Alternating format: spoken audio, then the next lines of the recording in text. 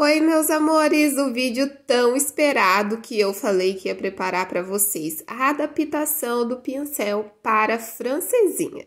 Então, vamos lá. Peguei o pétala branca da Colorama, a gente vai limpar aqui com acetona o pincelzinho, tá? Vamos tirar o excesso do esmalte que está aqui no pincel. Com alicate, é qualquer um, tá? Eu estou usando esse daqui porque ele é de corte de unha, ele não é de cutícula. Separei aqui e vou tirando a quantidade que eu quero que ele fique. Então, olhem só, tirei a primeira quantidade, venho tirando a segunda, ó. E vou tirar mais um pouquinho, ó, dele. Tirei. Ele fica essa finurinha, tá? Então, agora eu passei bem o meu dedo ali para ele ficar bem retinho, ó. E venho cortando aqui, ó, a lateral. Vamos fazer tipo uma seta aqui na pontinha, tá? Maceto mais um pouquinho com o meu dedo, ó. E a gente vai deixando assim, ó. Tipo uma setinha. Aí a gente vai colocar ainda ele dentro do pincel para você, dentro do esmalte para vocês verem. Aqui ficou ainda uma pontinha, eu cortei, ó, essa pontinha que ficou. Venho de novo com o algodão e passo para tirar qualquer excesso que tenha ficado de pelinho. Tirei, agora a gente vai ver dentro do esmalte como que ficou a, a, a espessura dele. Ficou excelente, é desse jeito mesmo. Agora eu vou mostrar para vocês na unha.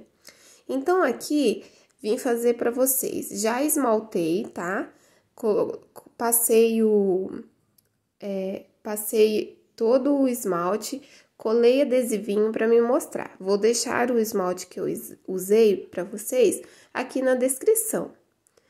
E olha só que lindo que ficou. Vocês viram como o traço sai fininho?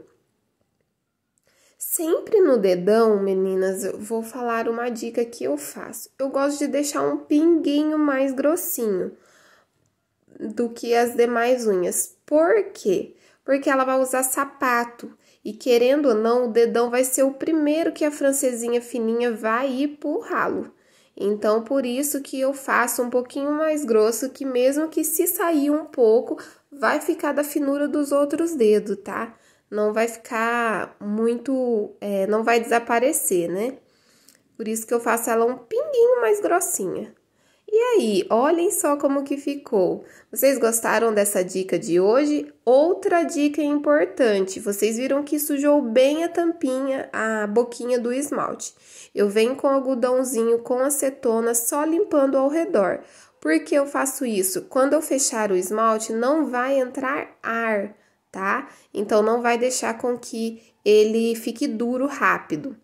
E vem aqui finalizando com o extra brilho, como de costume, para dar um brilho ainda mais chique nessa esmaltação. Passo ali o extra brilho nas pontinhas também para durar a francesinha. E o resultado final foi esse. Vocês gostaram da dica de hoje? Comenta muito aí, compartilhem e não se esqueçam de se inscrever no canal, tá? Um beijão e até o próximo vídeo.